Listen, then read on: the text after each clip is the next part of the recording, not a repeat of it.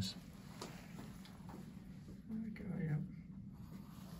Okay, so usually it's about five to 10 per cubic or per square centimeter.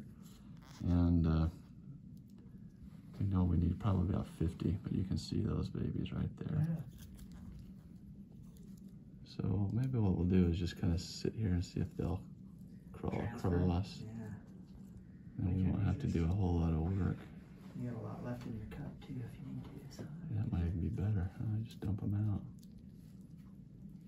I'm gonna have to integrate this into my practice.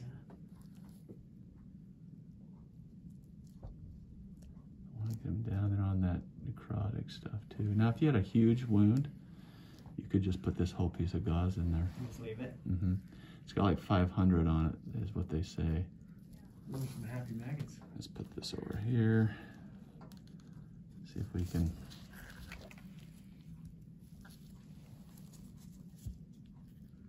They're gonna be happy. Per square centimeter. Yeah. I'm shooting for 50 ish. Or more. Right? Why stop? Yeah. Well, then you miss out on the party. Right? I hope they said i'm hungry. Yeah. I think they're hungry. I don't want to kill them, but I'm just gonna lay those babies in there.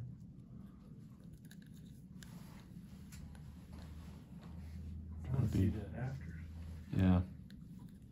Come back. That's gonna be the hard part. Is you, yeah, we're not gonna see him for a while. Where we were having the most difficulty debriding was underneath this dark black eschar there. I could scrape off the top. It's a good thing they'll, they'll generally move where they want to be.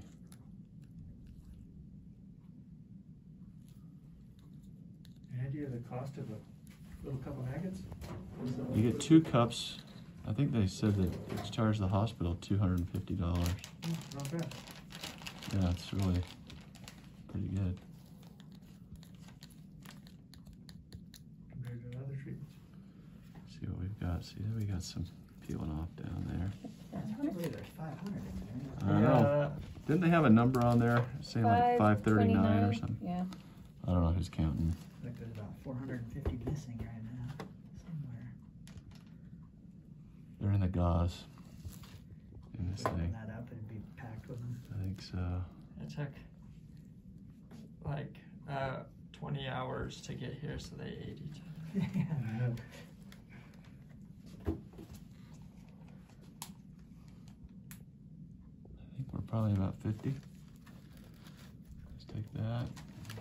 Probably have to take this whole thing after a minute, but let me let me see if this will mm-hmm. stick.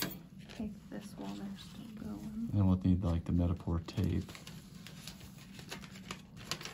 Good transport. Right there?